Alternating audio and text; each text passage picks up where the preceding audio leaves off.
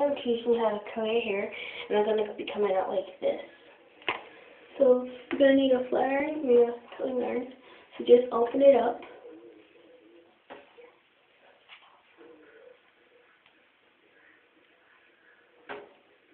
Place it, well, I can't really see anything because I'm using a mirror.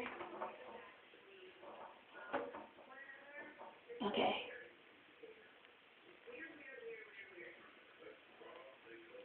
Just wrap it around it, hold it right there, now flip it upside down, and curl anything that's out.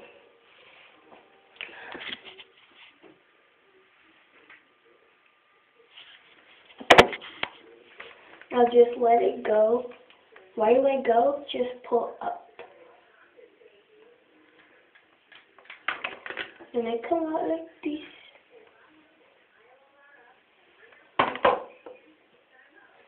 So if you do have to watch your whole head, sorry I can't do the whole the whole video on it. YouTube one let me upload a couple minutes. So it's a really cute hairstyle if you want to put it in a bun. About how many minutes? Like if you want to put it in a bun. We just hurry up. Like that. Bye.